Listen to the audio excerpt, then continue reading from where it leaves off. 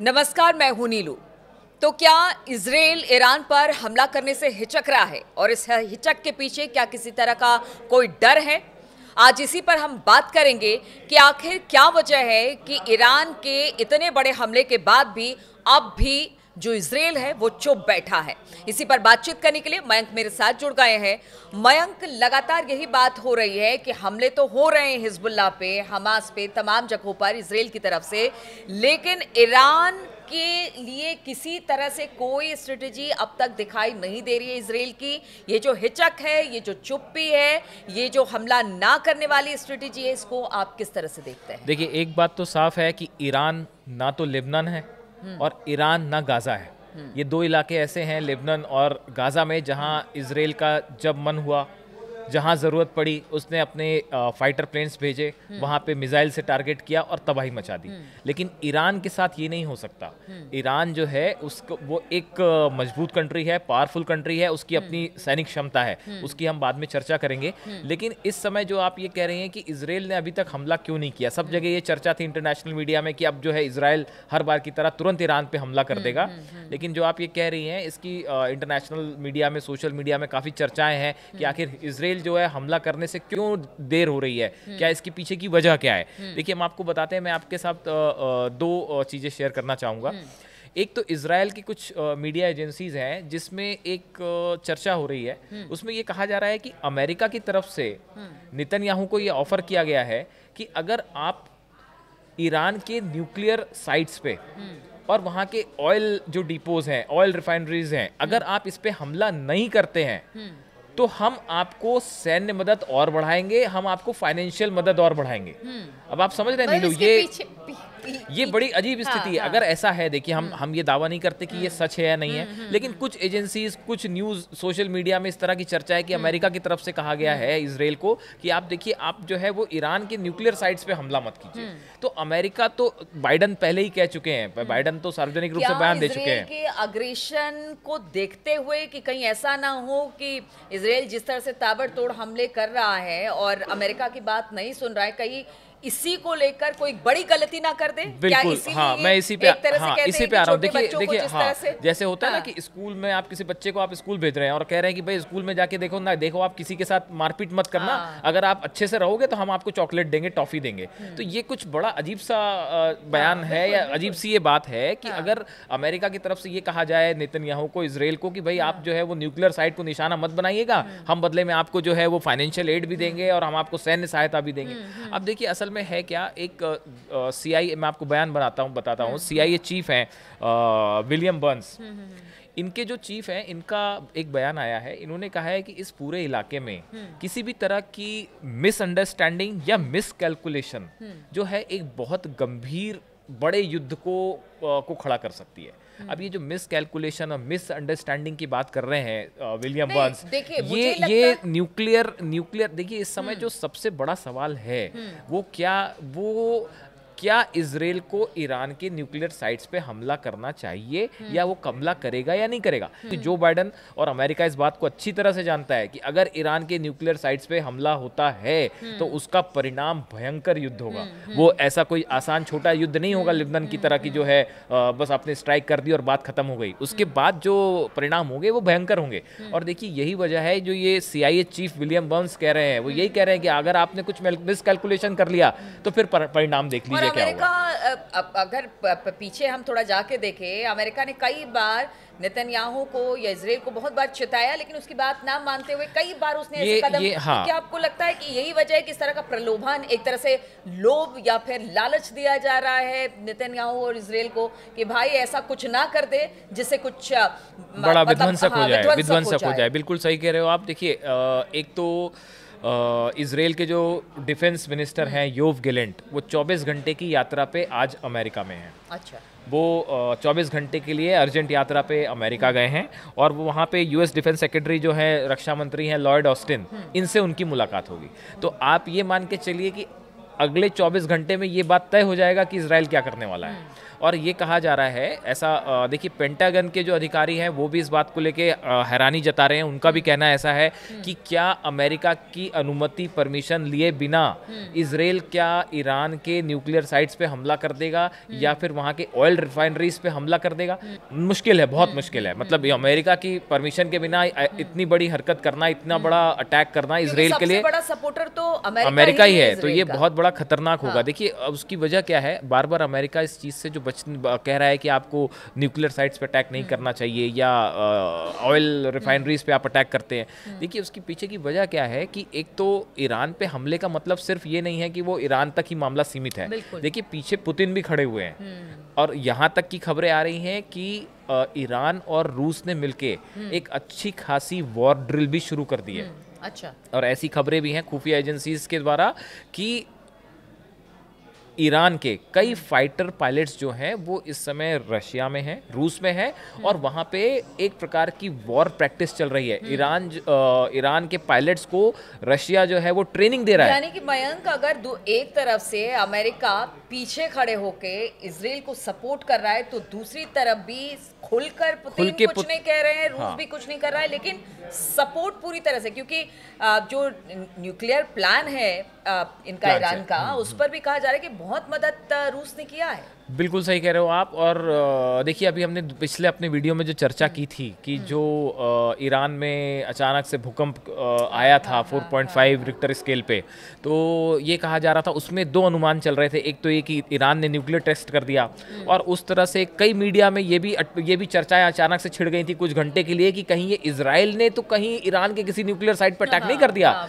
और इसको लेके अचानक से चर्चाएँ चली लेकिन फिर ईरान की तरफ़ से आईआरजीसी की तरफ़ से साफ़ किया गया कि ऐसा कोई हमला हम पे नहीं हुआ है। फिर उस उस चर्चाओं पे फिर जो है विराम लगा।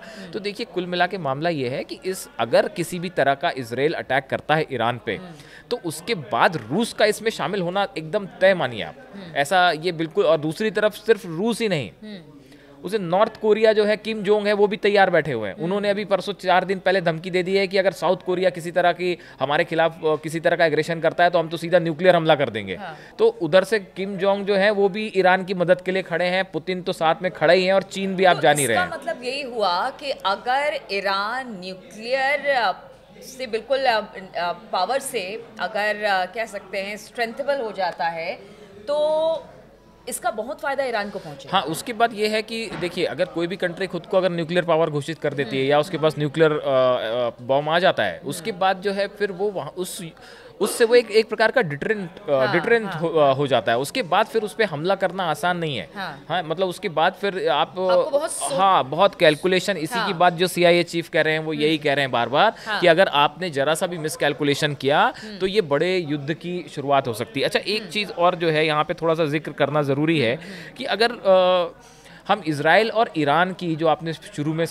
कहा था अगर अब इनकी सैन्य क्षमताओं की तुलना करें तो देखिए अगर हम सैनिकों की ग्राउंड फोर्सेस की बात करें तो इसराइल के पास छः लाख सत्तर हज़ार जो है वो फोर्सेस हैं और ईरान के पास ग्यारह लाख अस्सी हज़ार है। जो ग्राउंड फोर्सेस है। देखिए अगर पर सबसे ज़्यादा मतलब कहते हैं कि जो उनके पास फोर्सेज हैं ग्राउंड पे हैं वो ज़्यादा है ईरान के पास। ईरान के पास है साढ़े छः छः साढ़े छः लाख करीब इसराइल के पास है ईरान के पास ग्यारह लाख है। आप देखिए कि अच्छा एयरफोर्स के मामले में जो है वो एट्टी नाइन थाउज़ेंड जो टोटल लोग हैं वहाँ पे फाइटर्स हैं वो एट्टी नाइन थाउज़ेंड हैं और ईरान के पास वो बयालीस हज़ार है। तो जब एयर वॉर की स्ट्राइक्स की बात होती है तो वहाँ पे थोड़े में ज़्यादा डिफरेंस है। उसी तरह थल सैनिकों की अगर बात होए टोटल हमने सैनिक बताया अगर थल सैनिकों की बात होए तो पाँच लाख छब्बीस हज़ार सैनिक जो हैं वो इसराइल के पास हैं और करीब साढ़े तीन लाख जो हैं ईरान के पास है। नौ सैनिकों की बात हो तो उन्नीस हज़ार पाँच सौ जो है वो नौ सैनिक जो है वो इसराइल के पास है और अठारह हज़ार पाँच सौ जो है वो ईरान के पास है। वैसी लड़ाकू विमानों की बात हो तो 241 फाइटर प्लेन्स जो है वो इसराइल के पास हैं, एक सौ छियासी ईरान के पास है। ट्रांसपोर्ट विमान जो है वो 12 इसराइल के पास है 86 ईरान के पास है। हेलीकॉप्टर्स 146 इसराइल के पास है 129 जो है वो ईरान के पास है। अगर टैंक्स की बात हो तो 1370 टैंक्स इसराइल के पास है और 1900 से ज़्यादा टैंक्स ईरान के पास है। देखिए हम कहना ये चाह रहे हैं कि ये जो आंकड़ा हमने एक बताया बताने का पीछे का मकसद ये है कि लेबनन में जो स्थिति है आप देखिए लेबनन में इसराइल लगातार हर रात बमबारी हो रही है पूरे बेरूत में स्ट्राइक हो रही है दक्षिणी लेबनन में बम बरसाए जा रहे हैं। तो यहाँ पे लेबनन के पास कोई अपना एयर डिफेंस सिस्टम नहीं है। और ना ही वो काउंटर करने की क्षमता में है इसराइल को ऐसे ही हाल गाजा में था। लेकिन जब ईरान से अगर युद्ध होगा तो ऐसा बताया जाता है कि रूस ने हमने जिसकी पहली चर्चा की थी कि रूस ने अपना एक मज़बूत एयर डिफेंस सिस्टम ईरान को दे रखा है।